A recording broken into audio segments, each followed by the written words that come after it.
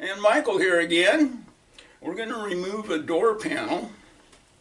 And on the late 60s, 70s, mid, up to mid 80s cars, it's pretty much the same process.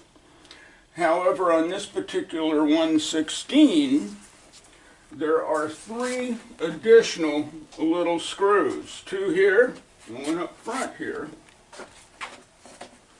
that must be removed in order to pull the panel off.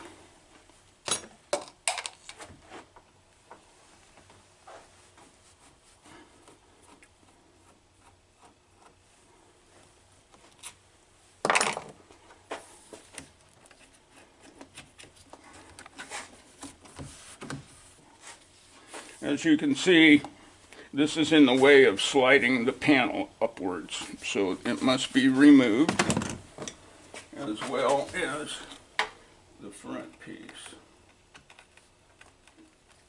And this takes a small Phillips, not your medium.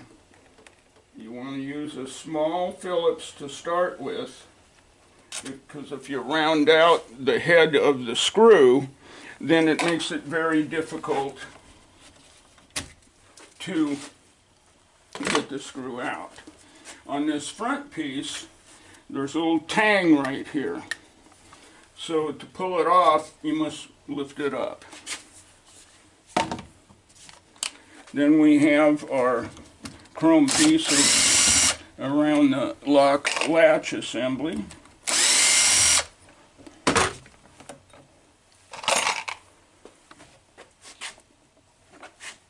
The door lock knob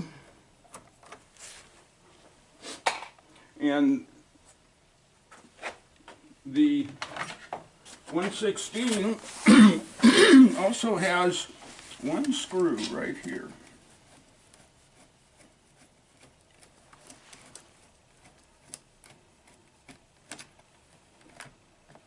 And you want to grab that little chrome washer so you don't lose it.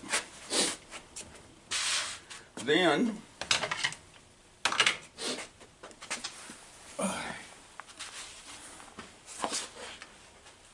this plastic is very easy to break and with age they become very brittle. So I use a heat gun and make it more pliable.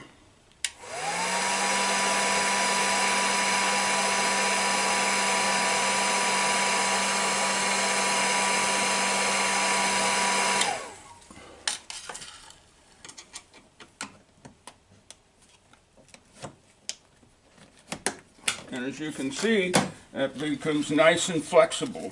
If you don't do that, you'll break this and it occasionally happens, so I always keep a few of them on hand. Then you have, normally it's a Phillips screw in here.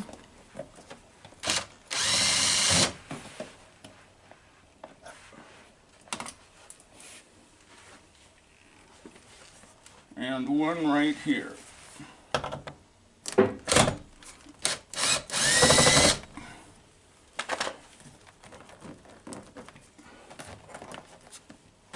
Once that plastic's off, you can pull this chrome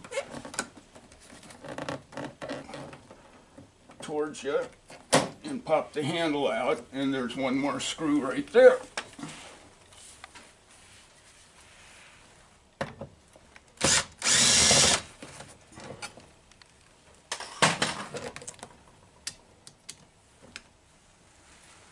This also has a little hook to it that hooks in.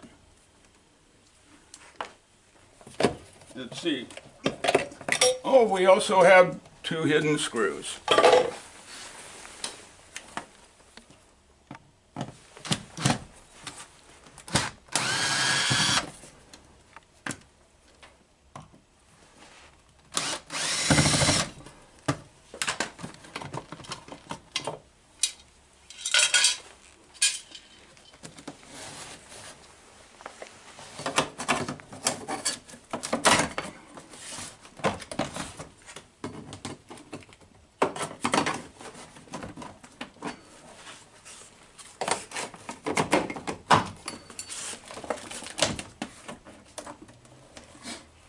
Now we have the window switch to pull off. And there we go. And as you can see, these things here, somebody's already broken them and re-glued them.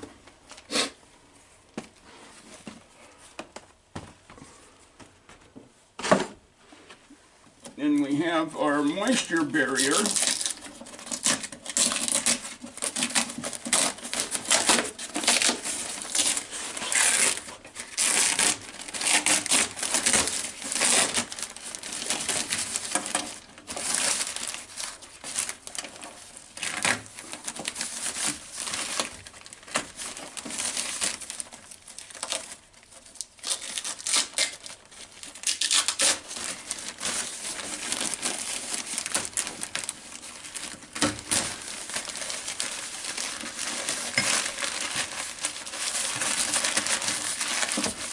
Now we can access what needs to be done. You can replace your door check, uh,